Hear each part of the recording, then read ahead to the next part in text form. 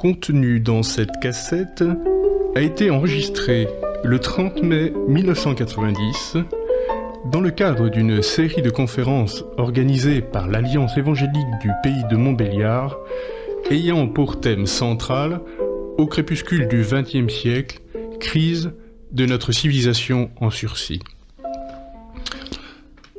Le maître de conférence est le physicien nucléaire Serge Tarasenko, ingénieur employé auprès de l'Euratom pendant 13 ans et consultant en métallurgie spéciale auprès du projet Ariane 5. Le titre de la conférence apportée ce jour-là était Pas de civilisation sans régénération de l'homme.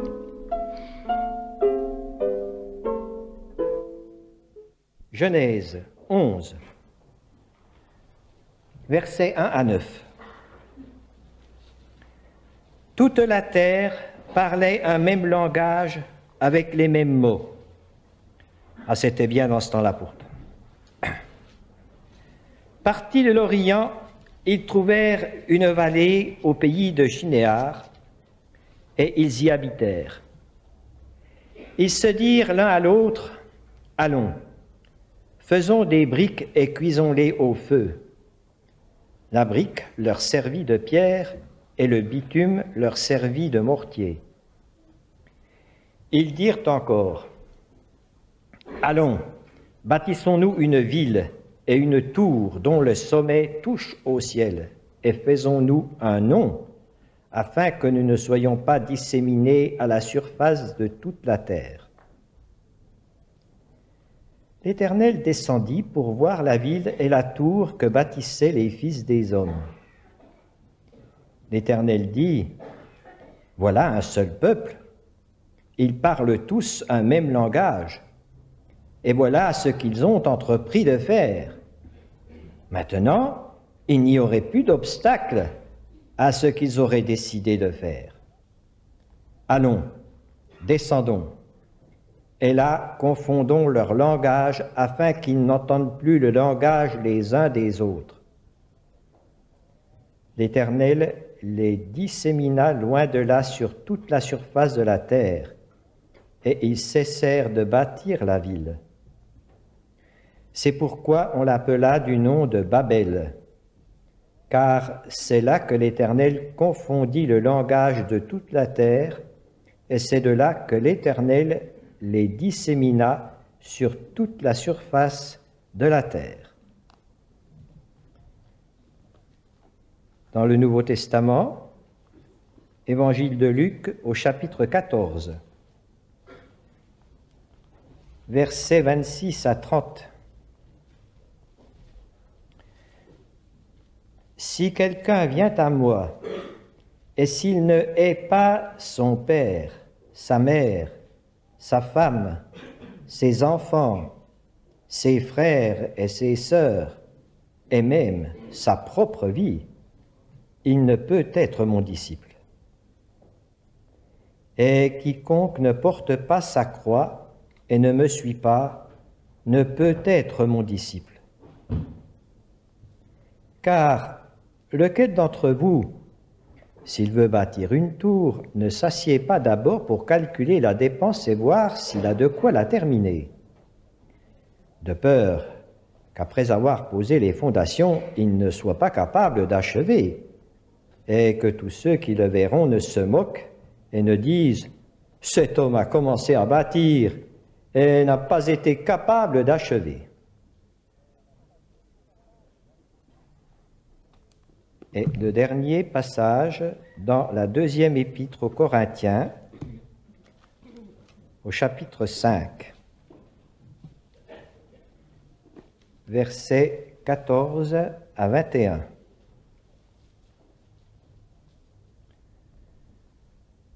L'amour du Christ nous étreint, nous qui avons discerné ceci.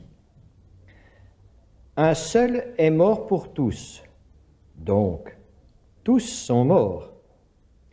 Il est mort pour tous, afin que les vivants ne vivent plus pour eux-mêmes, mais pour celui qui est mort et ressuscité pour eux. Ainsi, Dès maintenant, nous ne connaissons personne selon la chair. Même si nous avons connu Christ selon la chair, maintenant, nous ne le connaissons plus de cette manière. Si quelqu'un est en Christ, il est une nouvelle créature ou il est une nouvelle création. Les choses anciennes sont passées. Voici, toutes choses sont devenues nouvelles. Et tout cela vient de Dieu, qui nous a réconciliés avec lui par Christ et qui nous a donné le service de la réconciliation. Car Dieu était en Christ, réconciliant le monde avec lui-même, sans tenir compte aux hommes de leurs fautes, et il a mis en nous la parole de la réconciliation. Nous sommes donc ambassadeurs pour Christ, comme si Dieu exhortait par nous. Nous vous en supplions au nom de Christ. Soyez réconciliés avec Dieu. Celui qui n'a pas connu le péché, il l'a fait devenir péché pour nous, afin que nous devenions en lui justice de Dieu. Nous voici parvenus à ce quatrième et avant-dernier volet de notre cheminement sur ce thème d'une civilisation en crise. Et j'aimerais rappeler toujours ce que nous découvrons la veille. Il est important de prendre le relais d'une façon continue. Nous avons découvert hier, à travers ce titre, au creux de la crise, de l'essoufflement à un nouveau souffle de quel souffle il s'agissait? Pas seulement du souffle biologique, de cette forge qui est dans notre cage thoracique, mais du souffle de l'humanité dans ses aspirations les plus profondes, son désir de se construire un monde, une société viable, une humanité qui s'engage dans son histoire dans cet environnement, plus que l'environnement écologique, l'environnement de la propre nature humaine, qui, est aussi environnement, et qui sera sans cesse dans la situation de vouloir connaître le bien et le mal, c'est-à-dire sans les distinguer, simplement en connaissant, de réaliser qu'à chaque fois qu'il oriente ses recherches, et c'est l'un des grands drames de la science, à chaque fois qu'il oriente ses recherches, il a une bouffée extraordinaire d'espérance parce qu'il découvre de nouveaux projets, de nouvelles réalisations, une amélioration de ses standards de vie, un progrès, et en même temps, il découvre qu'il peut retourner en quelque sorte la connaissance contre lui-même, en faire une arme de guerre, de destruction à court terme, à moyen terme, à long terme. Et parce que l'homme est incapable par lui-même de discerner la différence, il entre dans l'absorption de cette réalisation, il, en devient partie intégrante, il chemine comme sur le bord d'un précipice, il passe par des crises de civilisation en civilisation, et nous voici à la fin de ce XXe siècle dans une crise comme l'homme n'a jamais connue, entre autres, la menace sur un environnement comme jamais nous l'avons fait, alors que précédemment, les crises étaient surtout des crises de société. Maintenant, c'est une crise généralisée, un peu comme un cancer qui s'est généralisé. Et ce qui caractérisait cette tragédie, c'est que l'homme avait perdu la vision, avait perdu l'image de ce qu'il était, la réalité en fait, bien qu'il commence à s'en douter au niveau d'un apport de civilisation orientale d'un côté, d'une physique nouvelle de l'autre, il ne peut aboutir que dans une image qui n'est pas la réalité de lui-même. Et de ce fait, il lui manque l'essentiel, le souffle, le souffle qui le fait déboucher non seulement dans une situation viable qui puisse se transmettre de génération en génération, mais aussi, surtout, il ne peut déboucher à cause de ce souffle qui s'éteint dans l'éternité. Pour lui, tout s'arrête à la tombe. Il ne peut laisser à la génération qui suit, lorsque lui s'éteint, qu'une mémoire, des règles, une morale, une tradition, des méthodes.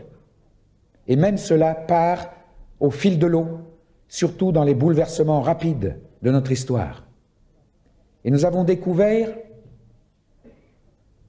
toute l'importance et la centralité de l'œuvre que Dieu accomplit dans l'incarné, lorsqu'il devient, qu'il s'empare, qu'il entre dans notre condition, nous avons vu comment Dieu ne vient pas réparer pour redonner un souffle qu'il a perdu seulement, mais Dieu vient parachever l'homme, le fait entrer dans un contexte absolument nouveau, un peu comme d'un prototype, nous passons à la version finale de l'homme. Et cette version finale est celle qui reçoit le souffle qui dure éternellement, même si le souffle biologique s'éteint, ce souffle de l'esprit qui fait que l'homme vit éternellement en Dieu. Ce soir, nous allons étendre notre analyse, si j'ose dire, à la civilisation en général, et nous allons, comme nous l'avons fait à l'occasion de cette première lecture, nous arrêter à l'histoire d'une des premières civilisations que l'homme peut reconnaître dans une étude archéologique ou autre, celle qui suit le déluge, où, étant donné ce qu'est l'histoire après le déluge, il devient possible de retrouver les traces. Et nous avons vu, d'après notre lecture, qu'il semblerait, au détail près, que le gros de la civilisation était comme dans ce bassin de l'Euphrate, ce qui maintenant est le pays des ayatollahs et de l'Irak, concentré là, et une civilisation qui semblait vivre une espérance, une motivation qui a toujours été celle de toutes les civilisations, une vision d'unification, pouvoir parler le même langage, vivre à l'unisson des uns et des autres, avoir un but commun et harmoniser tous les aspects de la société pour achever ce but. Cette civilisation, appelée Babel, qui, entre parenthèses, donnera plus tard le nom de Babylone, un terme qui sera repris par la Bible pour désigner l'histoire de l'homme, ces civilisations sans souffle qui essayent de se renouveler sans cesse. Babel était le prototype de ce que nous vivons aujourd'hui. La Bible commence dans ce verset premier du chapitre 11 à nous parler du fait que la Terre, c'est comme si la Terre s'était concentrée, c'est le langage biblique, c'est un zoom. Ce qu'il y avait autour, il n'y avait pratiquement rien dans les autres continents, ou presque. L'essentiel était là, donc la Bible parle de la Terre, avec une seule langue et les mêmes mots. Ça nous surprend, on a l'impression que c'est même une répétition. Avoir une seule langue, c'est forcément avoir les mêmes mots. Et là, je crois que, comme je l'ai souligné hier, ce qui d'ailleurs caractérisera la façon dont la Bible sera abordée, écoutée et reçue dans les décennies qui viennent et qui va être une expérience bouleversante. On ne lira plus avec la précondition intellectuelle, je dois comprendre d'abord il y aura une écoute d'un message profond. Et dans cette écoute, ce que nous constaterons, c'est que enfin, l'arrogance d'une certaine théologie occidentale se, sera émiettée et écroulée. Enfin, l'Ouest se mettra à l'écoute du peuple d'Israël, et je passe au rabbin. L'école rabbinique, c'est un phénomène millénaire qui s'est reproduit de centaines d'années en centaines d'années. Et il est resté peu de traces, disons au moment de la Kabbale, on a tout perdu au Moyen Âge. Mais ça s'est retrouvé. Il nous reste des ouvrages très fractionnaires qui s'appellent, l'un d'entre eux, la Midrash Rabbah, la méditation des rabbins. Je l'ai lu, j'ai loin d'avoir tout fini, c'est tellement riche. Et j'ai discuté, je me suis mis à l'écoute des rabbins, qui d'ailleurs répétaient en cette fin de XXe siècle, ce qu'il y a des millénaires était déjà dit dans les écoles rabbiniques. Et voilà que ce texte, ce premier verset, nous arrive à travers cette méditation sous un éclairage bien plus complémentaire. Le texte rabbinique, la méditation, nous rappelle que ce peuple avait une unité d'expression, et ce qui a été traduit par les mêmes mots était plutôt une unité de possession. Et même certains rabbins iront plus loin, ils diront ils s'aimaient les uns les autres. Ah là, ça nous surprend. Souvent, dans certains quartiers du christianisme, on s'imagine qu'il n'y a que les chrétiens qui savent s'aimer. Et souvent, ils montrent le contraire. Il n'y a qu'à montrer les guerres de religion, il n'y a qu'à montrer les différentes expressions dénominationnelles. C'est pas interdit d'être différent, vive la différence, mai 68. Mais alors, c'est que la différence devient une occasion de répulsion de l'autre. Il ne pense pas comme moi, c'est moi qui ai la vérité. S'il pense qu'il a la vérité, c'est chez moi qu'il doit venir. Ça démarre comme cela. Bien sûr, tout n'est pas négatif. Il y a aussi des merveilleux exemples d'amour dans le peuple de Dieu. Mais néanmoins, la méditation rabbinique nous rappelle qu'ils étaient dans une unité d'expression, une unité de possession des biens matériels, et ils s'aimaient les uns les autres. Alors ce soir, vous allez me dire, n'était-il pas précisément dans les meilleures conditions pour réussir? Déjà, un même langage, c'est pas évident. Ceux qui sont interprètes s'en rendent compte. Mais une unité de possession rêve du communisme qui, vous n'avez qu'à regarder les pays de l'Est aujourd'hui, ne laisse que des ruines fumantes. Unité de possession, expérience vécue dans l'Église primitive. Qu'est-ce qu'il en reste aujourd'hui? Rien du tout. Et ils s'aimaient les uns les autres. Rêve suprême de l'homme. J'ai beaucoup parlé au cours des sessions précédentes de ce mouvement qui démarre dans le monde entier, le nouvel âge, The New Age. C'est la même chose, c'est la traduction, bien que je n'aime pas la traduction nouvel âge. La traduction exacte serait une nouvelle ère. Le New Age. Voilà un mouvement qui démarre sur la base d'aspirations identiques. Unité d'expression, unité de possession, s'aimer les uns les autres, découvrir nous sommes un, rêve ultime de l'homme, aspiration ô combien correcte, normale. C'est ainsi que la nature de l'homme a été formée par Dieu et créée. Aspiration qui traduisent l'écriture du divin dans l'humain. Aspirations qui vont se fourvoyer car l'homme animé du premier souffle n'est qu'un prototype. Il ne débouchera jamais nulle part. Et c'est Dieu qui l'a voulu ainsi, car son dessein, c'est d'amener le parachèvement, l'être final, l'homme trait d'union Christ, celui que nous ne pouvons même pas saisir par nos discours religieux.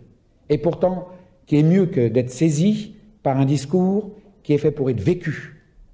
Et cela a été vécu déjà depuis beaucoup de générations. Malheureusement, pas suffisamment à une grande échelle. Et comme je disais hier, nous sommes à la veille de ce recto verso, unique dans notre histoire, si ce nouvel âge se développe d'un côté, en même temps, nous sommes à la veille d'une renaissance du peuple de Dieu et d'un déferlement de vie nouvelle sur une échelle jamais connue de notre histoire. Recto verso, là où le mal abonde, la grâce surabonde, quelle que soit l'échelle de cette abondance. Il s'aimait. Dieu a fait pour que l'homme s'aime. C'est pas le christianisme qui a amené l'amour. Ce que le christianisme est supposé amener, en fait, c'est pas lui qui l'amène, c'est le Christ. Ce dont il est supposé être le messager, c'est que, d'une part, si l'homme a cette faculté de s'aimer l'un l'autre, en bout de ligne, cela ne débouche nulle part parce que ça a besoin d'être transféré dans un ordre nouveau, le royaume de Dieu. Un ordre nouveau, dans un contexte de l'homme dans sa version finale. C'est comme si Dieu crée un prototype pour en montrer les limitations et en même temps, et nous avons vu que l'arbre de la vie, le message de la transformation de l'homme est déjà dans notre histoire depuis le commencement. une transformation qui veut dire démontage pour un réassemblage, mais dans un ordre différent. L'ordre ancien, c'est l'homme livré à lui-même, à ses images, animé d'un souffle qui s'éteint progressivement. L'ordre nouveau, c'est la réalité infinie de Christ, l'homme enfin vivant sur sa dimension réelle, son éternitude, son infinitude, en Christ. Voilà l'ordre nouveau. Le transfert, démantèlement pour réassemblage. C'est tout le message de la croix. C'est déjà fait. Voilà la bonne nouvelle de l'Évangile. S'il fallait définir l'Évangile par une seule phrase, c'est ça. C'est déjà fait, c'est disponible. Tout ce que l'homme a à faire, c'est d'accepter, et tout est fait en lui. La façon dont il est spécifié au niveau création, nous l'avons vu tout à fait au début dimanche, quand Dieu regarde la création et l'homme. Il dit c'est très bon, et très bon veut dire comporte la dimension de mort, c'est-à-dire ce démantèlement. C'est en cela que Dieu trouve que ce qu'il a réalisé a enfin, contient enfin toutes les conditions de ce renouvellement. Tout est déjà écrit, tout est prêt. Cela va cheminer dans l'histoire et un jour la croix émergera comme un événement, mais elle traduira d'une façon visible, historique, quelque chose qui a cheminé depuis toujours. Alors ce démantèlement concerne également la capacité d'aimer de l'homme, la capacité d'être un. Car l'homme fait pour s'aimer, dans sa version première, n'aboutit nulle part.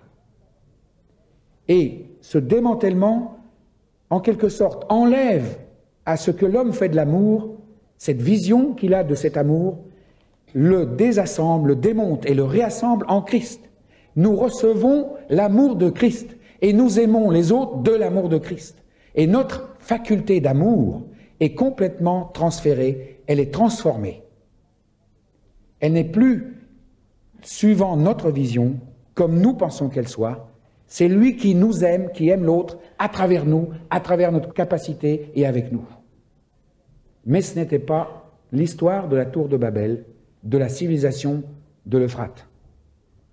Et alors, étant donné qu'ils ont déjà réalisé bien plus loin que nous cette unité d'expression, de possession des biens matériels, d'amour, ils vont s'ériger en société durable.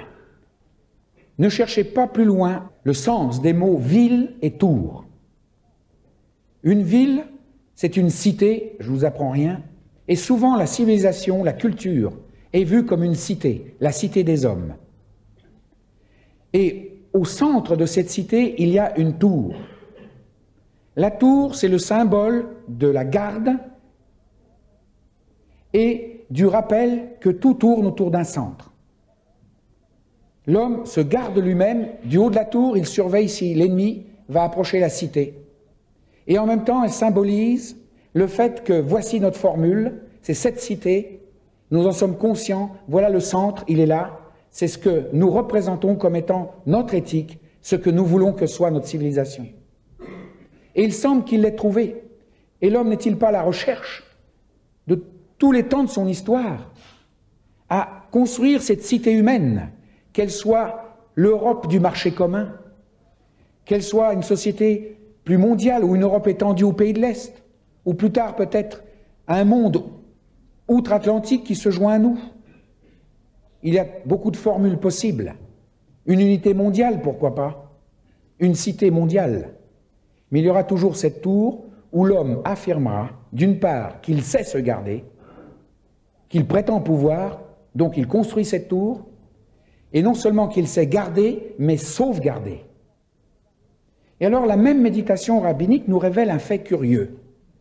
Elle nous dit qu'il y avait une construction supplémentaire en haut de la tour. Cette construction, c'était la statue d'un homme qui pointait un glaive vers le ciel.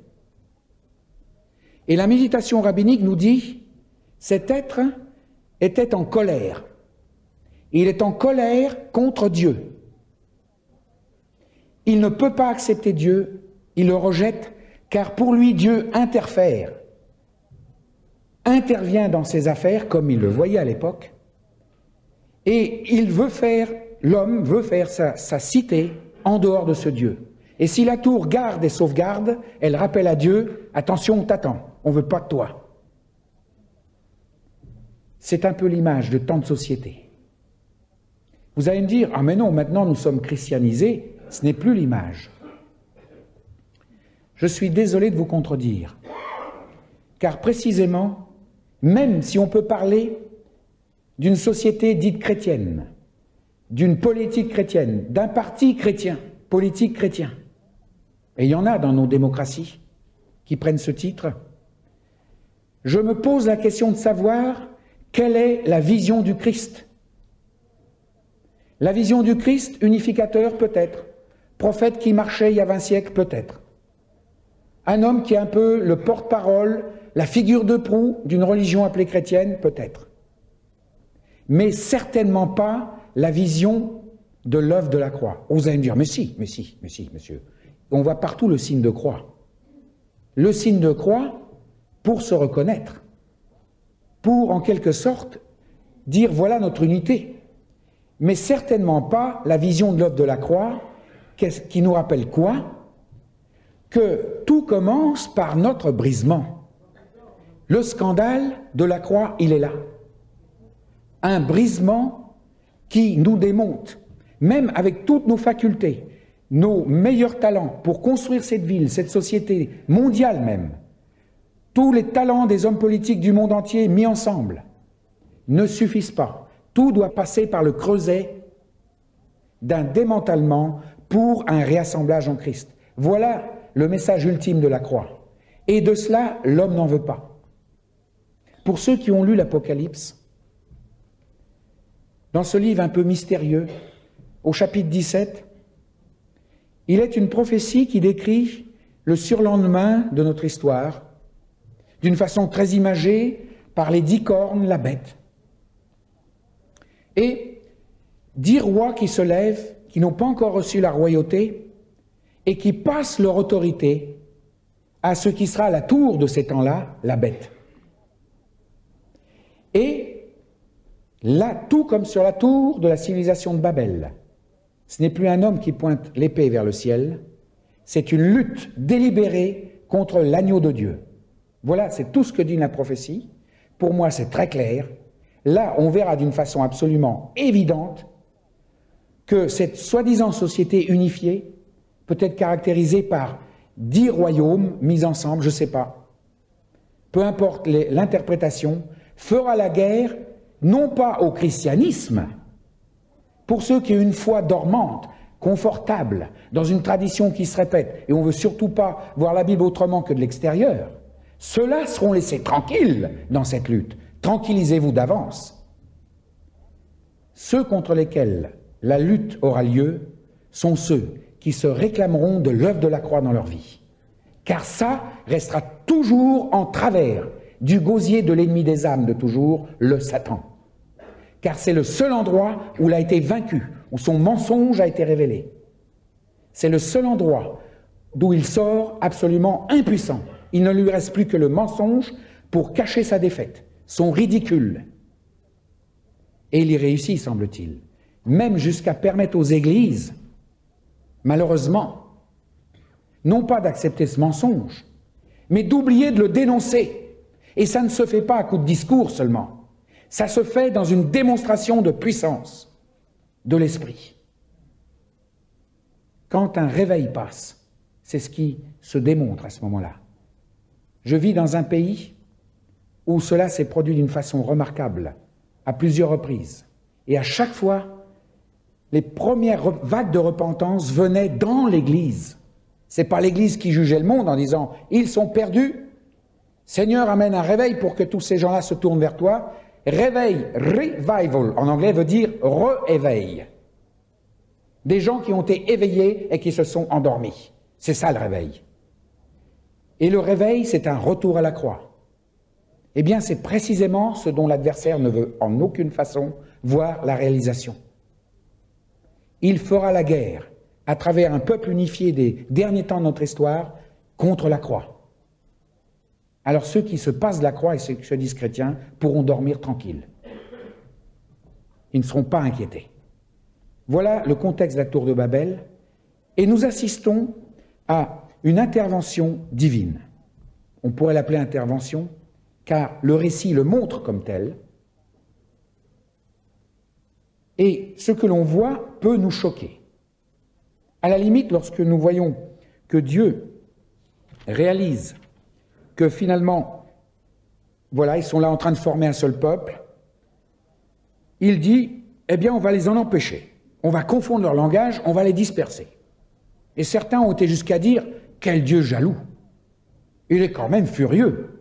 Il est furieux, on l'a rejeté, ils sont arrivés sans lui à avoir une unité de langage, une unité de biens, de possession de biens et d'amour.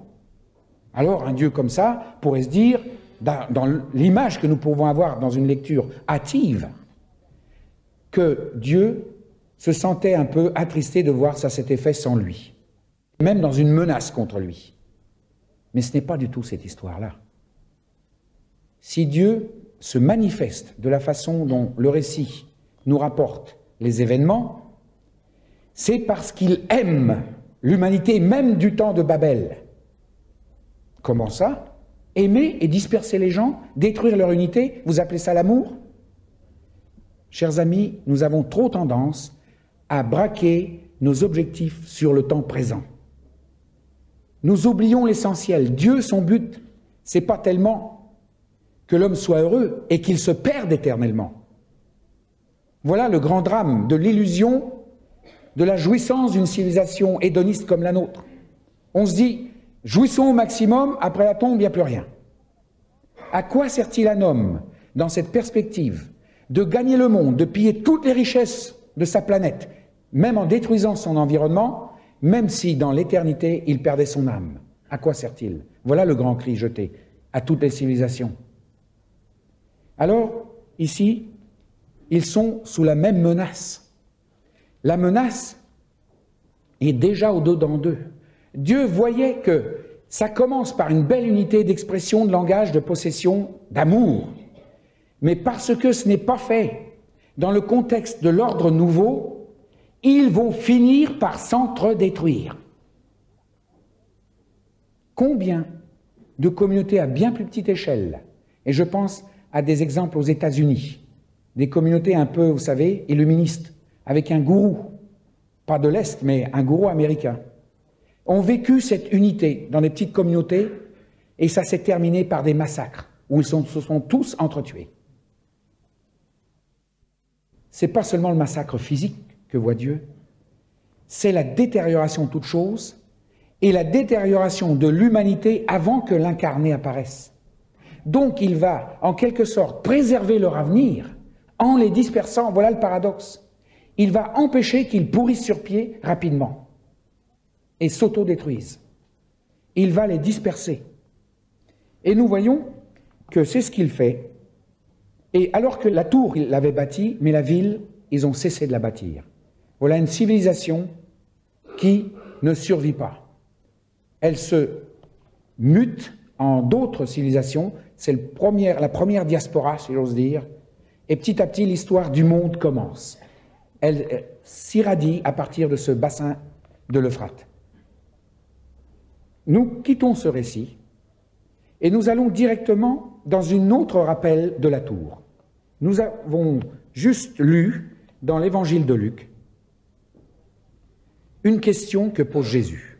Car lequel de vous, s'il veut bâtir une tour, ne s'assied d'abord pour calculer la dépense et voir s'il a de quoi la terminer, de peur qu'après avoir posé les fondements, il ne puisse l'achever et que tous ceux qui le verront ne se mettent à l'oreiller en disant ah, cet homme a commencé à bâtir et il n'a pu achever.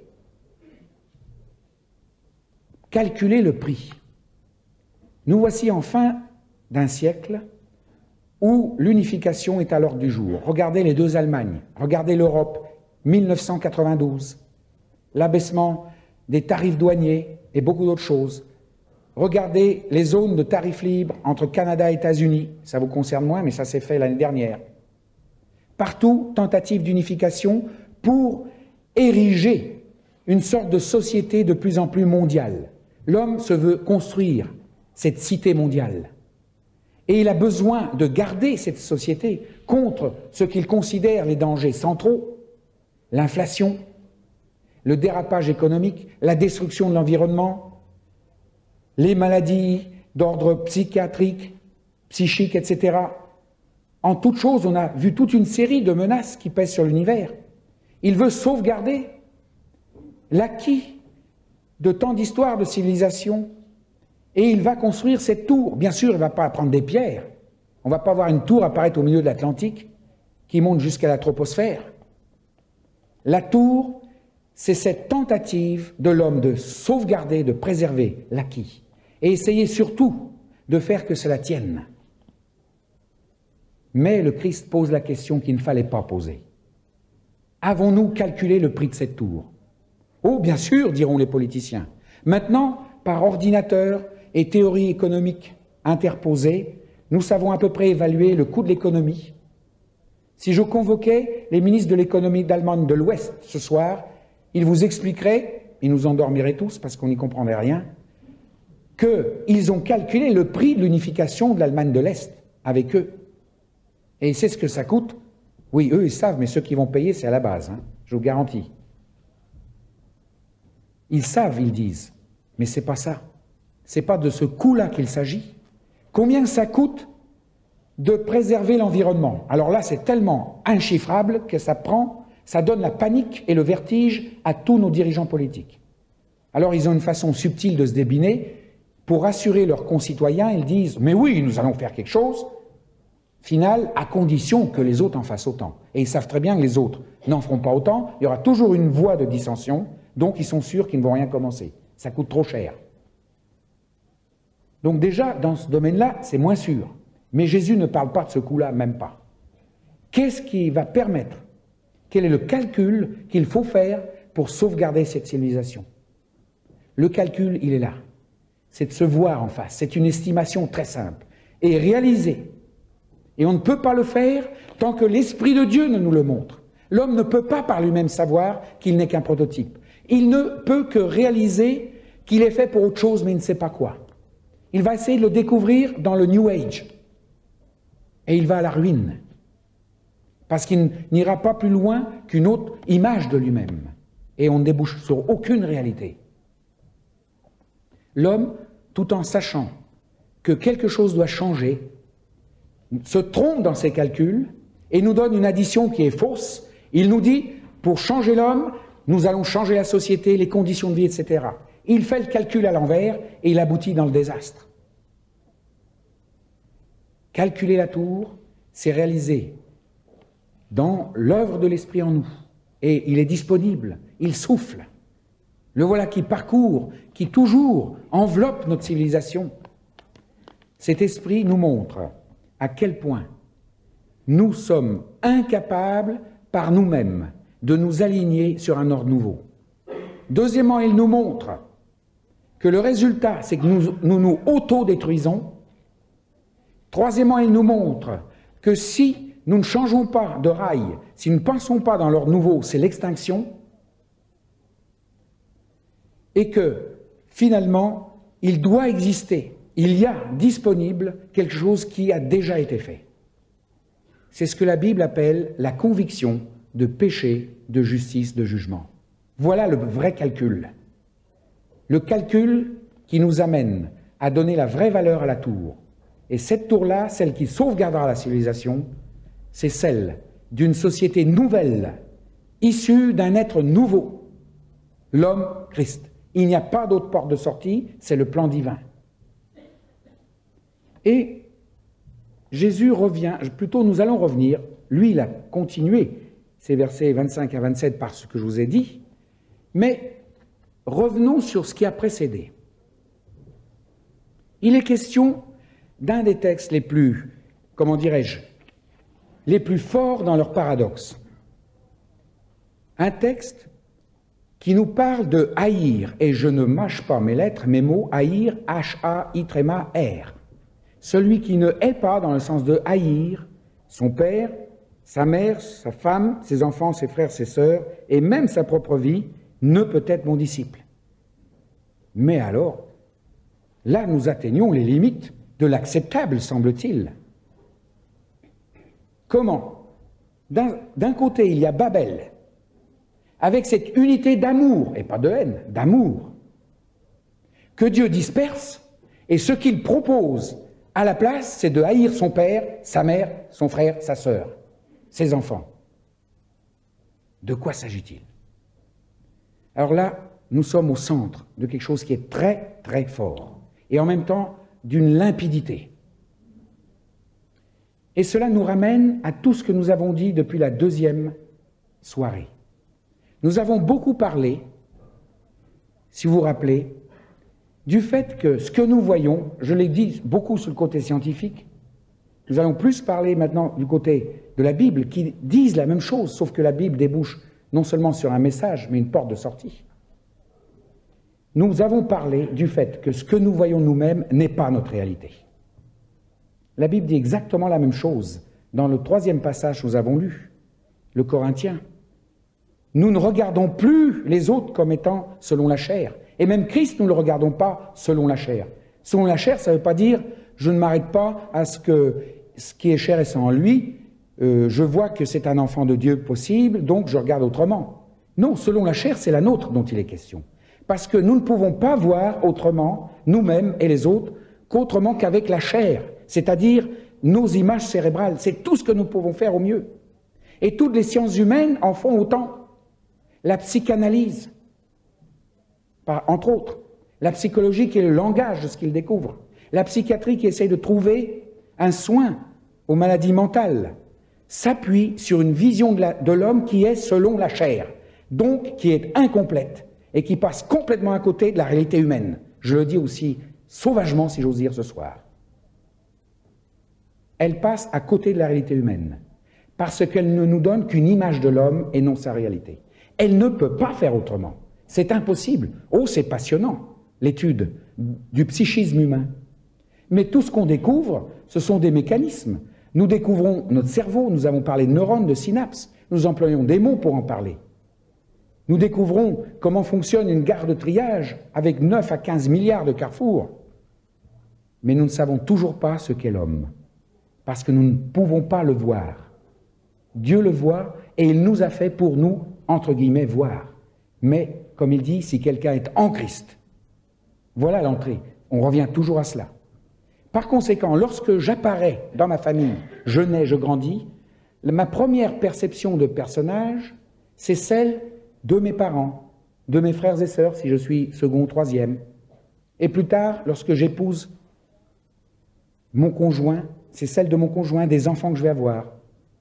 Cette vision que j'ai d'eux, n'est que celle qui est l'ensemble des sensations cérébrales qui se créent à partir du cortex visuel, qui s'étendent dans le reste du cerveau, 10 à 15% pas plus, et qui me donne une image émotionnelle, affective, qui me fait découvrir une attraction pour telle personne. Tout se passe là-dedans. Et quand je m'unis à mon épouse, quand je prétends aimer mes enfants, je fais tout. J'ai ainsi été formé, mais je suis toujours pas dans le créé. Je suis dans le formé, je vis dans des images de mes proches. Et lorsqu'il s'agit de passer dans l'ordre nouveau, nous nous accrochons à ces images. Car si ce soir je faisais un sondage d'opinion dans cette assemblée et que je pose la question, cet ordre nouveau, vous êtes prêt à y entrer? Réalisez-vous? Que ça veut dire réaliser que votre vue de l'être le plus cher peut-être que vous avez, ce n'est qu'une je dirais pas une illusion, une apparence, et que sa réalité est bien au-delà Êtes-vous prêt à passer dans cet ordre qui va vous faire voir l'autre Mais il y aura des réactions positives, mais beaucoup de négatives. Les gens me diront, mais qu'est-ce que ça veut dire ça? Moi, je, je, sais ce que je suis, vous me proposez une recette, et c'est ce qui m'a été reproché au niveau d'une certaine psychanalyse. Ils me disent, mais vous êtes en train de détruire notre travail. Nous nous sommes efforcés pendant des décennies à établir une image de l'homme sur laquelle nous travaillons et vous dites que tout ça n'est qu'une apparence. Vous jetez le trouble parmi les gens parmi lesquels nous travaillons. Un trouble ô combien salutaire. Parce que ces images, n'étant pas notre réalité, sont un obstacle sur notre chemin pour entrer dans l'ordre nouveau et nous découvrir tels que nous sommes, en Christ. Et c'est Christ qui nous donne cette vision de nous-mêmes. Ce n'est plus une vision cérébrale, c'est une vision qui transcende cela vous pouvez l'appeler spirituelle si vous voulez, mais c'est par la foi qu'elle arrive. Une vision de l'autre, comme Dieu le voit. Mais il nous demande de plus en faire une priorité. de plus à faire la base de notre relation avec l'autre. Car cette relation-là, c'était celle de la civilisation de la tour de Babel. Ils s'aimaient et ils étaient partis pour se détruire. Voilà où conduit, à long terme, cette relation. Pas forcément se détruire en sautant la gorge et se massacrant, mais dans la différence. Et surtout, le pire, c'est que l'image que j'ai de l'autre, d'où provient-elle Je l'ai dit mille et une fois depuis que nous sommes ensemble. De notre, du fonctionnement de notre cerveau, de toutes ces sensations, ces perceptions cérébrales, de notre sensorialité. Donc, la façon dont nous décrivons l'autre traduit à la limite, comme nous l'avons toujours vu, c'est ça la connaissance, au sens humain strictement du terme, traduit non pas la réalité, mais traduit, donne une description de l'ensemble de ces sensations cérébrales. Nous nous décrivons nous-mêmes quand nous décrivons l'autre. Nous aimons nous-mêmes quand nous aimons l'autre. Voilà le drame, il est là. C'est nous que nous aimons quand nous aimons l'autre. On a beau se dévouer et dire mais non, je me dévoue, je ne pense pas à moi. Mais vous savez, le psychisme a des courts-circuits subtils où tout revient à nous-mêmes non pas forcément du niveau conscient, mais par le simple fait que ce que nous voyons de l'autre n'est que la projection de nous-mêmes. Donc, quand nous prétendons aimer l'autre, c'est nous que nous aimons. Et ça, c'est l'obstacle central. Il a besoin d'un brisement, cet obstacle. Dieu ne va pas détruire notre capacité d'aimer l'autre. Dieu ne va pas détruire notre façon de faire des images. Il faudrait qu'il écrase en bouillie notre cerveau. Il ne le fait pas. Ce qu'il fait, il en enlève la priorité que lui donnons et la remplace par, dans la foi, la réalité de Christ. Et à ce moment-là, nous le voyons, l'autre, le père, la mère, le frère, la sœur, comme lui le voit, dans une réalité éternelle, déjà parvenue à la perfection. Extraordinaire vision par la foi. Alors, il faut savoir se détourner de ces images. Voilà tout le sens du terme haïr. Haïr est l'antithèse de l'amour. Amour, c'est s'unir à, faire un avec. Haïr, dans le terme biblique, ça n'a rien à voir avec la méchanceté qui va pousser à tuer l'autre. Haïr, ça veut dire n'avoir aucun rapport avec l'autre, n'avoir aucune communication, rien, dans le sens de vouloir en faire un but ultime. Haïr l'image de l'autre, ça veut dire repousser la priorité qu'il avait prise. Et je ne peux pas le faire moi-même. C'est pour cela que Christ achève au verset 27, cette admonition, et quiconque ne porte sa croix et ne me suit pas ne peut être mon disciple. Le secret de haïr cette image, il est là. C'est cette puissance de la croix. C'est la seule qui démonte, non pas l'image, mais la priorité que nous lui donnons. Qui nous transfère dans une vision tout à fait différente, de nature complètement différente de celle de notre sensorialité cérébrale, dans une vision de l'autre, de Dieu, qui d'ailleurs ne fait qu'un. On ne voit plus de différence, on ne voit plus des particularités, ce n'est pas une uniformité, c'est une union remarquable. Et cette vision-là, c'est celle qui débouche sur une véritable civilisation. Voilà la vision de l'œuvre de la croix au sein de notre être. Mais vous vous rendez compte quel défi cela jette à notre étude et connaissance de nous-mêmes. Est-ce qu'on peut se poser la question, que deviendra la psychologie dans cette perspective? Est-ce qu'elle va disparaître? Mon opinion est qu'une perspective régénérée, car c'est de ça dont nous parlons, continuera à avoir des images de nous, mais ne, ne définira plus des règles de vie et de conduite et de comportement en fonction de ces images. Elle définira notre image pour vous dire, voyez, on ne tient rien de vous-même. Finalement, on ne comprend rien. Et déjà, et déjà dans la psychiatrie, on s'interroge. On s'interroge en se disant finalement, quel est l'homme? Qui est l'homme? On sait quoi il est, comme on le disait hier, mais qui est-il? On ne sait pas. On ne saura jamais par la science. Qui est-il? Et si on ne peut pas répondre à cette question, lorsqu'il y a dérangement mental, il y a des causes profondes que l'homme ne peut pas atteindre par la science. Ni même, ni par la cure d'âme, ni par la guérison intérieure, par rien de tout cela. Et je déplore le fait que la cure d'âme se soit glissée dans le peuple de Dieu, sous sa forme d'introspection, de tentative de réparation de l'être, alors que nous venons de lire ce soir, dans ce merveilleux passage de Corinthiens, si quelqu'un est en Christ, il est une nouvelle créature, les choses anciennes sont passées, voici toutes choses sont devenues nouvelles. Ce qui a amené la guérison intérieure et toute sa théologie qui suit derrière, la cure d'âme, la relation d'aide, le fil à plomb de Bruce Thompson et tant d'autres choses qui nous vient entre parenthèses des États-Unis, une fois de plus, c'est que l'homme, au sein de ce qu'il se connaît lui-même dans le christianisme, s'est vautré dans une connaissance qui n'en est pas une. Il a voulu emboîter le pas, rappelons-nous, le drame de l'Église depuis trois siècles, c'est qu'au lieu d'être la tête, elle a été souvent la queue. Elle a essayé d'emboîter le pas à la connaissance, la connaissance séculière, essayer d'accorder son violon et à chaque fois il y avait un métro à rattraper. Alors là, elle pense qu'elle arrive. Elle absorbe toutes ces théories de l'homme, elle rentre dedans et elle pense qu'elle va guérir l'homme. Elle va le réparer. Quel sublime mensonge. La croix n'est pas venue réparer l'homme. Elle ne veut pas rapiécer l'ordre ancien qui se compare souvent à un manteau plein de trous. C'est vrai, nous souffrons de notre passé. Souvent, nous avons été matraqués au sens moral du terme. Nous avons connu une enfance terrible. Nos parents peut-être nous ont haïs. D'ailleurs, on jette souvent et toujours la faute sur les parents. C'est toujours une déculpabilisation à la Freud. C'est Freud le grand Manitou derrière tout ça. Et on essaye de réparer cela en suivant les techniques proposées par une méconnaissance de l'homme. C'est comme ça que je lis ce qui est étude psychique de l'homme. Une méconnaissance de l'homme et on se fourvoie, parce que si les autres se fourvoient, c'est normal, ils ne peuvent pas déboucher dans une connaissance au niveau du créé de l'homme, de son infinitude. Mais le chrétien sait qu'en Christ, il est une nouvelle création. On reviendra sur ce mot tout à l'heure. En Christ, il est un ordre nouveau. Il est aussi grand, aussi infini que Dieu. Il est en plein devenir. Et un jour, il débouche complètement dans la réalité divine, dans une union totale. Voilà ce qu'amène la croix elle ne s'attarde pas au passé. Ce qui est blessé du passé finit toujours dans la tombe. L'ordre nouveau est un million de fois plus important, mais n'empêche que l'ordre ancien, qui nous suit jusqu'à notre dernier souffle, le suit peut-être dans un contexte de souffrance. Ce que fait la croix, elle englobe tout d'ailleurs, elle nous propose une lecture de notre souffrance dans une autre perspective, celle de l'éternité, et ça change tout. Je reviendrai beaucoup là-dessus demain.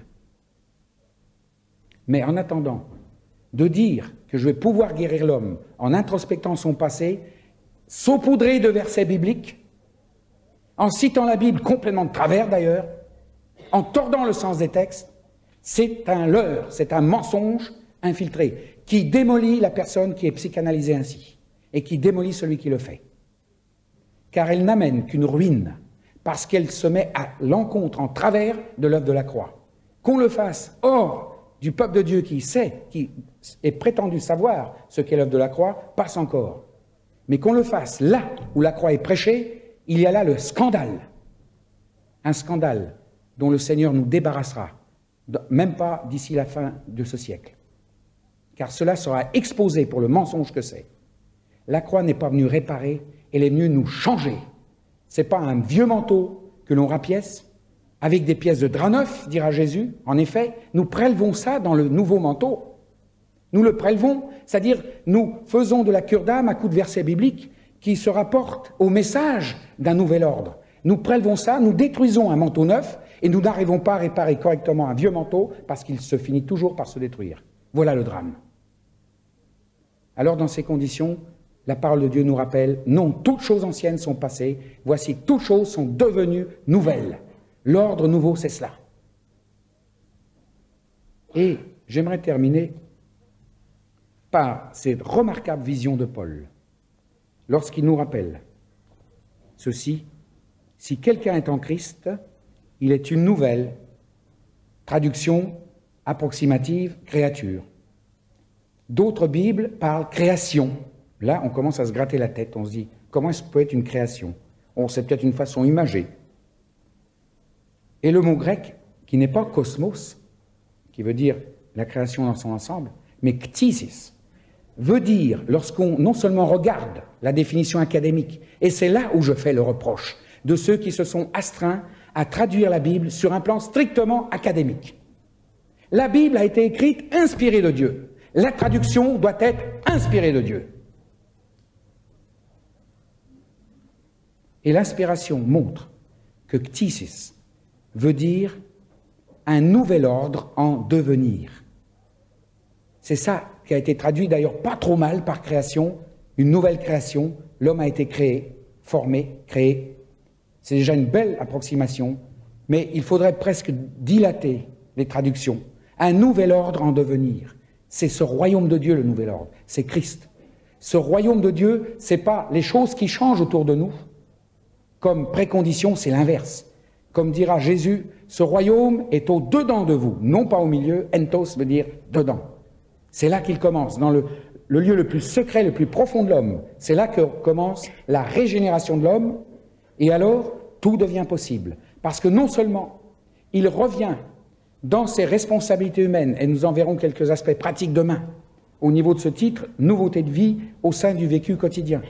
Mais non seulement il apporte une lumière nouvelle, une saveur nouvelle, et ce n'est pas nécessaire qu'il prenne position dans un débat. Car le drame d'un débat, c'est pas d'avoir des camps bien retranchés et d'essayer de trouver une solution. Le drame, c'est qu'il n'y a pas de lumière.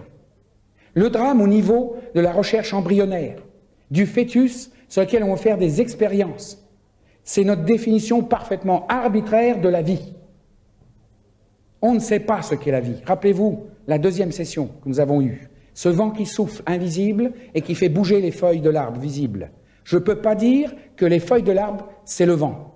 Par contre, je peux dire que c'est l'effet du vent invisible sur des paramètres visibles, des détecteurs, les feuilles. De la même façon, la vie, personne ne sait ce que c'est. D'ailleurs, dit, Dieu dit dans la Bible, il crée la vie verset 21 de Genèse 1. Donc quand c'est créé, on ne peut pas voir l'origine, mais on peut en voir les manifestations. La vie vient, on ne sait pas d'où, retourne, on ne sait pas d'où au niveau cérébral, tout comme l'esprit, mais on en voit les effets. Alors, résoudre des problèmes d'ordre embryonnaire, sur ce plan-là, simplement en définissant la vie d'une façon arbitraire, c'est s'exposer à de très graves conséquences. Il nous manque aujourd'hui des chrétiens au Parlement. Je pense surtout en Grande-Bretagne, où ça s'est débattu, à la Chambre des Lords, qui est l'équivalent du Sénat, et aussi à la Chambre des députés. Il manque des gens à ce niveau-là, non pas pour prendre position, et malheureusement des chrétiens ont pris position par une autre définition arbitraire de la vie. Ils ont dit, c'est vrai, ça commence à la conception, c'est déjà beaucoup plus de précision, mais personne n'a présenté le fait que personne ne sait ce qu'est la vie refléter la lumière de Dieu dans le cadre d'une nature régénérée placée au sein d'un débat parlementaire, ce n'est pas prendre tellement position, c'est dire voilà. Et c'est un pari extraordinaire parce que on sait déjà pertinemment que les gens ne comprendront pas. Mais c'est aussi un pari de victoire parce que nous savons que ces paroles au sein du Parlement sont porteuses de l'Esprit de Dieu, d'une puissance qui convainc l'homme, une démonstration de puissance, comme dit Paul. Ça, c'est appelé à faire. Voilà le rôle de l'Église. Un éclairage, et pas une prise de position et passer dans un camp plutôt que d'un autre. Un éclairage pour que l'homme puisse être éclairé et prendre ses responsabilités. L'homme régénéré, le voici en action. Et au-delà de sa société, enfin d'une société viable qui peut se construire, il y a beaucoup plus. Il entre dans un ordre nouveau qui débouche dans l'éternité. La perfection. Lorsque l'espace et le temps cessent d'exister, eh bien l'homme rejoint complètement cet ordre nouveau. Lorsqu'il meurt, son corps dort dans la poussière. Lui aussi fait partie de l'ordre ancien. Lui aussi va passer par un démantèlement, celui de la décomposition, pour un réassemblage, celui de la résurrection, dans un ordre nouveau, un corps glorifié. Et un jour, les noces de l'agneau rassembleront tous ceux qui auront suivi ce chemin. Car si Dieu crée la possibilité d'arriver, il crée aussi la possibilité de se fourvoyer. Loin de nous l'idée ce soir de faire des comptes, de dire ah ben un tel, il, se fourvoiera. La façon dont ça va, ça va se fourvoyer. Nous ne connaissons rien de l'extraordinaire grâce de Dieu, qui n'est pas faiblesse, qui est juste, qui est sainte, mais de son amour qui nous presse. Comme le dit la parole que nous avons lue, cet amour qui presse tout être humain, passé, présent et à venir, pour qu'il débouche dans la perfection. Nous serons peut-être surpris là-haut de voir beaucoup moins de ceux qu'ils ont précédés, ou même suivis de l'autre côté, là où on s'est fourvoyé. On sera peut-être surpris, mais on ne verra plus en termes de quantité, croyez-moi. La notion de quantité, qui est purement cérébrale, elle aura aussi disparu. Et même le soleil ne sera plus. Mais il séchera. les larmes de ceux qui souffrent, et il n'y aura plus ni deuil, ni cri, ni douleur. Voilà l'achèvement, au-delà du parachèvement, de l'ordre nouveau. Nous sommes tous appelés, saurons-nous y répondre Que Dieu nous soit en aide. Amen. Prions Seigneur. Seigneur, nous te bénissons parce que tu nous as ouvert le chemin de la régénération totale. Et Seigneur, nous nous humilions devant toi parce que nous l'avons souvent quitté ce chemin pour nous fourvoyer dans les illusions du démontrable et ainsi nous quittions les certitudes de l'invisible. Seigneur, nous vivons des temps extraordinaires où tu nous rappelles à l'ordre, non pas comme un gendarme, mais avec tellement d'amour. Sans cesse, tu nous renvoies l'extraordinaire réalité de l'œuvre de la croix. Et Seigneur, si nous nous connaissons, nous savons où nous en sommes par rapport à nos images, par rapport à cette croix qui doit nous suivre parce que sans cesse, nous trouvons dans ce brisement la libération par rapport à la tyrannie de nos images. Seigneur, sans cesse, tu nous invites, et ce soir en particulier. Nous te prions de nous visiter les uns les autres, avec la lumière quelquefois intenable de ton esprit, pour montrer ce qui en nous te fuit, se fourvoie dans les illusions, les séductions modernes qui ont même gagné l'Église. Seigneur, nous te louons parce que tu as déjà prévu la libération de ton peuple vis-à-vis -vis de ces séductions, et que tu as prévu aussi, face à l'illusion du nouvel âge, tu as prévu ce réveil extraordinaire comme nous n'avons jamais connu. Loué sois-tu dans le nom de Jésus. Amen. Alors la question, c'est au sujet du brisement de la croix à titre personnel, avec lequel l'orateur, enfin celui qui pose la question est d'accord. Il se pose la question de savoir à quel point est-ce possible d'étendre cette réalité à toute une civilisation. Est-ce qu'on peut entrevoir, je répète ses propres paroles, une civilisation christique qui euh, verrait le brisement donc étendu à l'ensemble d'une population c'est plus ou moins ça, j'ai mal répété, mais enfin c'est à peu près ça. Alors évidemment, moi personnellement, je ne pense pas qu'une civilisation, comme vous l'appelez, du type Christ, soit 100% possible. Ce n'est pas d'ailleurs ce que traduit la Bible. Mais elle nous parle du sel de la terre. Elle dit finalement, comme c'est un ordre ancien dans lequel nous vivons, il n'est pas appelé à durer éternellement. Et ça, nous le savons. Donc, il est soumis à une certaine décadence, qui d'ailleurs se retrouve déjà en physique. Lorsque nous parlons de l'entropie, nous déclarons par là que à chaque fois que nous transformons de l'énergie, nous en perdons un petit peu. Le rendement n'est jamais 100% et que toujours une fraction retourne dans le désordre et le désordre de l'univers augmente. Il y a une décadence de toute chose. La vie physique, c'est aussi une combustion lente, etc. Cela s'applique aux civilisations. Il y a une décadence qui peut s'accélérer. C'était le cas, par exemple, au moment de Noé. Ça va être le cas après Babel. Combien de fois on voit cette décadence accélérer? La vision divine, c'est d'amener dans le monde le sel et l'image d'une viande qui, dans les pays, par exemple, du Moyen-Orient, ne pouvait pas se conserver plus de deux ou trois jours. Les frigos n'existaient pas. Il fallait le sel pour la préserver plus longtemps. Donc la vision biblique, c'est pas d'amener une viande, si j'ose dire, qui ne se corrompt jamais, pour reprendre cet exemple, c'est d'introduire dans l'histoire de l'homme le sel, qui est celui que ce doit d'être l'Église. L'Église, pas dénominationnelle, mais au-delà de nos dénominations, et je ne critique pas les dénominations, je critique ce qu'elles en ont fait, des, des tirs de barrage, des lieux de division. Il est nécessaire qu'il y ait des dénominations pour présenter comme dans un diamant, il y a plusieurs facettes à l'ensemble, chacun donne un éclairage différent, mais il faut encore que l'ensemble soit cohérent. Ce n'est pas le cas malheureusement. Non, l'Église, au-delà des dénominations, c'est le corps de tous les rachetés, régénérés en Christ, ceux qui sont entrés dans l'ordre nouveau et qui grandissent dans la stature de Christ.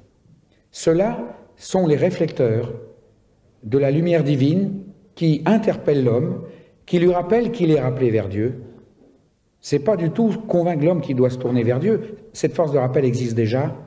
C'est donc être ce processus qui ralentit la décadence. Voilà à l'ultime. Mais, là nous entrons un peu dans euh, je dirais, la, je sais pas le mot en français, un peu le vague de la prophétie, mais c'est une réalité quand même, bien qu'on ne puisse pas tracer exactement ce que c'est, le millénium. Je crois que l'histoire des hommes verra pendant mille ans une société, comme vous dites, christique. Ou pourquoi? Parce que les mécanismes, pour prendre un terme de ancienne physique, les mécanismes de corruption se seront retirés, auront été neutralisés pour mille ans. Mille ans, c'est pas forcément mille ans calendaire. Vous savez, un jour est comme mille ans, sont comme un jour. Donc, c'est pas ça. Mais il y aura un exemple, ne serait-ce que pour enseigner à toutes les générations humaines que la société idéale est possible, dans la mesure où le mal est enchaîné. Mais tant que le mal est, l'antidote, c'est le sel, si j'ose dire. C'est-à-dire qui ralentit la décadence, qui donne donc une possibilité de salut à un plus grand nombre d'âmes que si la décadence était rapide. Voilà la vision. La question se pose de savoir si euh, le communisme tel que l'on connaît à l'heure actuelle n'est pas une espèce de répétition de la tentative de la tour de Babel. On pourrait le voir comme ça. On pourrait le voir comme ça, c'est une très bonne remarque, parce que au fond, c'est la même vision qui est correcte, qui est naturelle, qui est, qui est dans l'homme parce que Dieu l'a mise, d'une unité de langage, d'une possession des biens. On verrait très bien une église où tout le monde se partage ce qui gagne, et puis aussi un même amour. C'est toujours cette euh, impulsion, cette motivation profonde de la nature humaine. Seulement, tout comme la tour de Babel, cela peut se traduire par une perte de vitesse et un écroulement. Parce que la vision d'unité que projette la parole de Dieu, en particulier le discours de Jésus peu de temps avant sa mort, c'est lorsqu'il prie, au chapitre 17, la fameuse prière sacerdotale, il parle qu'il soit un comme nous sommes un. Et il montre que cette unité, ce n'est pas de la fabrication humaine, que cette unité existe déjà c'est Christ, qui est, qui a été et qui sera. Elle existe. C'est-à-dire, il n'y a pas à chercher les bases de l'unité, elle est disponible. Elle ne se fera que dans la mesure où l'homme entre dans la réalité de Christ, rencontre Christ, et je le rappelle, cette rencontre ne s'est effectuée, ne s'effectuera que sur la croix. C'est dans l'œuvre de la croix que l'homme rencontre Dieu et vice-versa. C'est pas ailleurs. Parce qu'ailleurs, il ne rencontre qu'une image de Dieu et autant de versions théologiques de Dieu, autant d'images différentes, chercher une unité là-dessus, la seule porte de sortie qui semble être de sortie, mais qui est pire encore, ce n'est pas l'unité, c'est l'uniformité.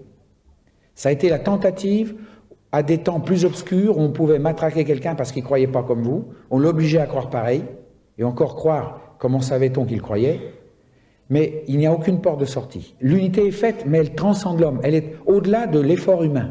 Par contre, si l'homme entre dans la réalité de Christ, il réalise qu'elle est déjà là et que ce qui lui reste sur terre, c'est de l'exprimer au niveau peut-être d'expressions dénominationnelles différentes. Nous verrons à quel point, étant de langages différents, de races différentes, de dénominations différentes, il n'y aura pas besoin d'uniformiser, on pourra vivre la différence, mais elle sera l'unité dans la diversité. Ça, c'est ce qui est possible et disponible à l'homme. J'espère que l'Église, et je crois qu'elle va atteindre un moment où ça se fera à grande échelle. Je ne sais pas qui, quelle dénomination sera englobée dedans. Ne me faites pas dire ce que j'ai pas dit, mais je, je, sais que ça se réalisera. Alors, le grain de blé qui se brise, image qui a été utilisée par Christ, dont j'ai fait le rappel hier, à quoi correspond-elle chez l'homme? Est-ce que c'est la foi qui naît? Est-ce que c'est une maladie qui nous tombe dessus? Est-ce que c'est la souffrance, l'adversité? Il y a un peu de tout mais il faut voir en plus large que cela encore. Un grain, si on pouvait enfiler un microscope dans la Terre, on verrait, on pourrait suivre avec un film au ralenti qu'on passerait à vitesse normale, dont on le verrait très vite, et d'ailleurs souvent on le fait beaucoup au niveau optique, ça, on verrait une entité qu'on appelle le grain en train de se démembrer, se désassembler, pas être détruite, pas disparaître. Et tout en étant démantelé, il y a déjà un assemblage qui prend une forme complètement différente, qui va donner l'embryon de la tige, qui elle va sortir. Alors, nous avons vu à la toute première session, c'était le dimanche, que l'homme possède cette spécification en lui. D'ailleurs, le grain de blé qui se démonte, pourquoi une fois en terre il se démonte? Est-ce que quelqu'un vient avec un burin très fin, commence à le tailler en pièces? Il n'y a aucune influence extérieure. Privé de lumière, d'oxygène, des mécanismes, pour utiliser un langage ancien, qui ne sera pas le langage du XXIe siècle, des mécanismes se mettent en route et qui font qu'ils se désassemblent, qu'ils se démontent, mais ils sont partie intégrante de ce grain. C'est dedans. Ça, c'est la mort au niveau du grain de blé. La mort physique, c'est pareil. Lorsque le corps est privé du ciment qui reliait, qui maintenait ensemble tout chaud, je peux secouer ma main, les doigts ne tombent pas, mon œil ne tombe pas de l'orbite, ainsi de suite, mon oreille est là, je ne me déforme pas, tout au moins pas immédiatement. Résultat, c'est parce qu'il y a un ciment invisible, la vie, qui tient tout ensemble. Lorsque le ciment se retire, les composants sont disponibles mais non plus assemblés. C'est le démantèlement qui commence. C'est ça la mort. Et alors, le corps glorifié, la résurrection, c'est une vie autre qui arrive, qui réassemble ça, non plus dans l'ordre ancien, mais dans un ordre nouveau, tout comme le grain de blé n'est plus rassemblé dans ce qu'il était avant, mais dans un épi. Tout ça, c'est la même chose. Alors, précisément, c'est tout le sens de la mort à soi-même. La mort à soi-même, à ce soi-même qui était de l'ancien ordre, pour que je ressuscite dans l'ordre nouveau. C'est-à-dire, ce n'est plus le soi-même qui vit, mais Christ qui vit dans le soi-même. C'est ça que dit Paul dans Galate 2.20. Alors, comment ça se traduit d'une façon pratique? Eh bien, ça se traduit par l'action de l'esprit, qui commence à nous montrer à quel point nous vivions dans un ordre qui n'aboutit nulle part. On ne peut pas le voir soi-même. On peut en avoir une idée.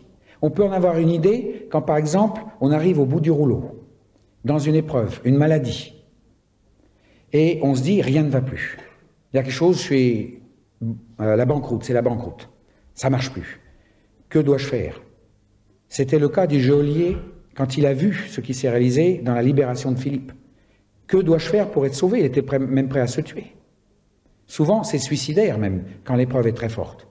Donc, il y a une réalisation que ça n'aboutit nulle part, mais le démantèlement ne commence que grâce à l'action de l'Esprit de Dieu. Dieu travaille en nous avant même que nous soyons conscients que nous débouchons dans l'ordre nouveau. C'est tout le grand secret de la conversion. La conversion, phénomène visible de quelqu'un qui prend une décision pour Christ, c'est l'aboutissement de tout ce processus. Combien d'exemples n'ai-je eu, de jeunes surtout, qui sont lancés dans toutes sortes de voies de garage, et parce que Dieu travaillait, il arrivé un moment où de plus en plus, il commençait à se rendre compte que c'était pas ça, mais il savait pas quoi. Les choses se rassemblaient.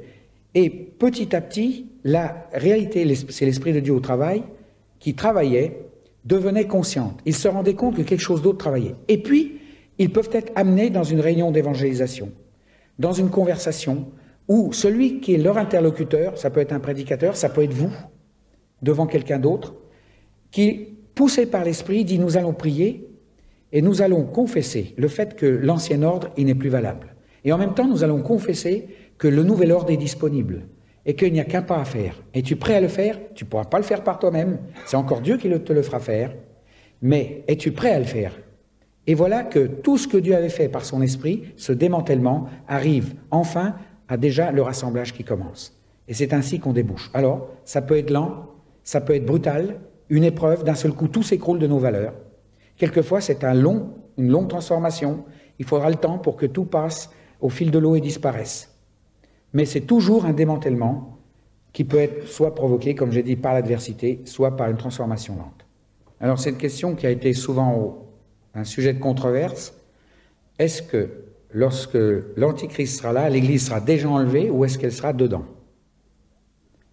Bon, on a chacun une opinion personnelle, ça ne s'est pas encore réalisé. C'est en cours. Il n'y a rien qui se réalise qui ne soit pas déjà en cours, je vous le dis tout de suite.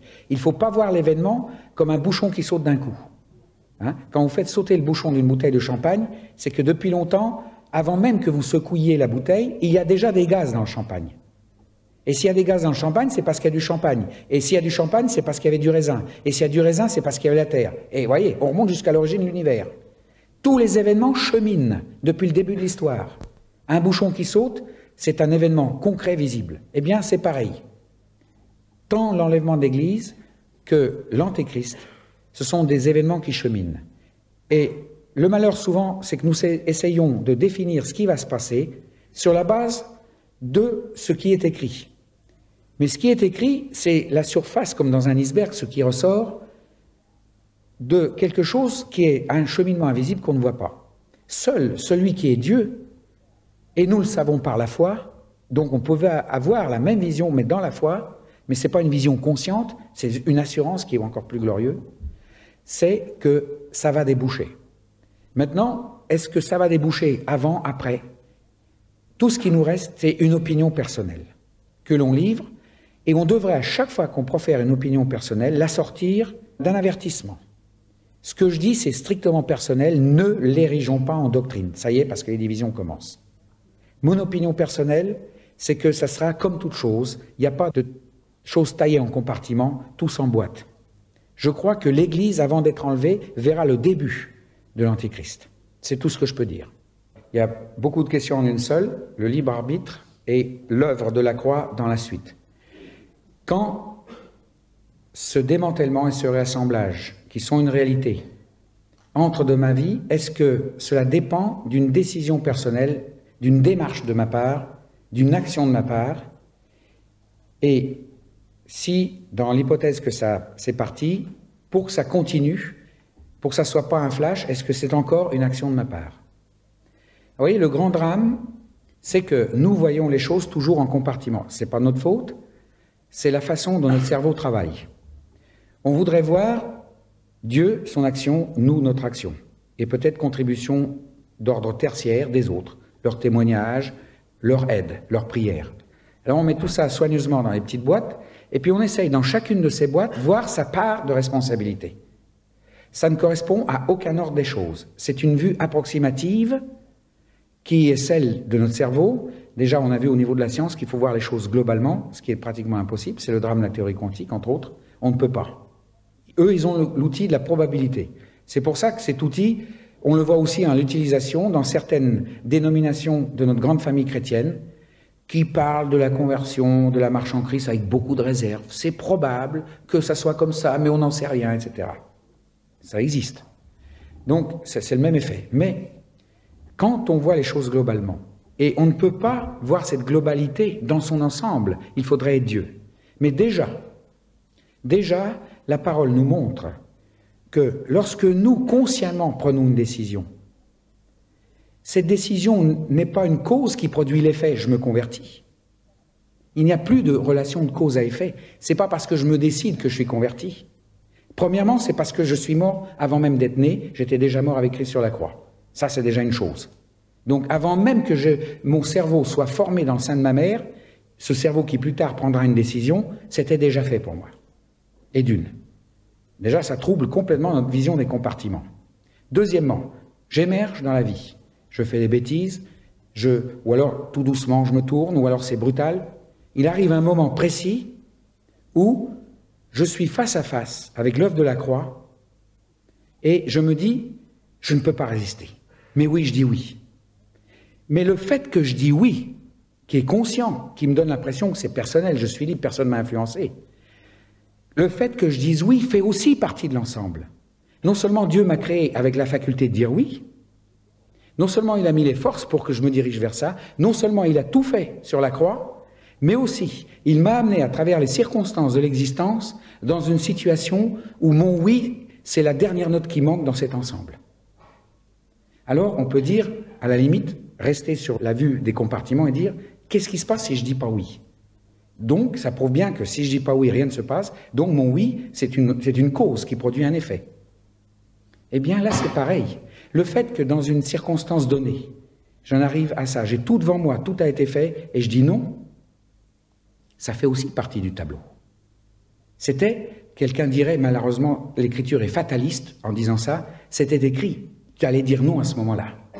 Dieu le savait, mais il sait aussi que tout ne s'arrête pas parce que ça dit non. Il continue son œuvre. Et comme je l'ai dit, c'est une constatation que j'ai faite après des interviews, d'avoir prié pour les gens avec eux, j'ai constaté que quand on dit non au Seigneur, c'est pas au Seigneur qu'on parle encore. L'homme est fait d'une façon telle que lorsque c'est vraiment la réalité totale du Seigneur devant lui, il ne peut pas dire non. Quand il dit non, c'est qu'il est encore voilé, ce Seigneur. Il y a encore un moment, il y a quelque chose qui le retient. Il y a quelque chose qui ne le rend pas encore prêt à prendre la décision, parce que s'il prenait la décision à ce moment-là, dans cette attitude, dans cette, euh, approche voilée encore des choses, où il manque encore un mûrissement quelque part, il se fourvoierait après. Et souvent, l'homme provoque ces choses-là. Combien de conversions émotionnelles dans des réunions à grand brassage, où on fouettait les sentiments des gens, et les gens se jetaient dans les bras du Seigneur sur un plan purement d'émotion. Et quelques années plus tard, il ne restait rien. C'est ça que j'appelle, ils n'ont pas rencontré le Seigneur. Et c'est arrivé à mon fils. Il a vécu dans une famille, celui qui est mort dans le métro de Londres, il a vécu dans une famille où on parlait de l'Évangile très tôt, et il a pris toutes les décisions au sens de la terminologie évangélique. Il s'est décidé de suivre le Seigneur très tôt, 11 ans.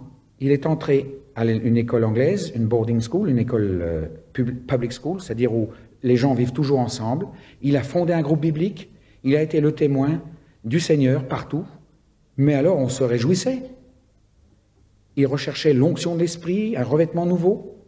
Et d'un seul coup, du jour au lendemain, on n'était même pas là, on était au Danemark, dans une série de conférences comme ça avec mon épouse. On revient, on apprend que du jour au lendemain, il avait tout envoyé promener.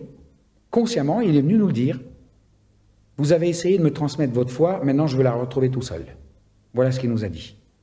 Il n'avait pas rencontré le Seigneur pendant toutes les années qui ont précédé.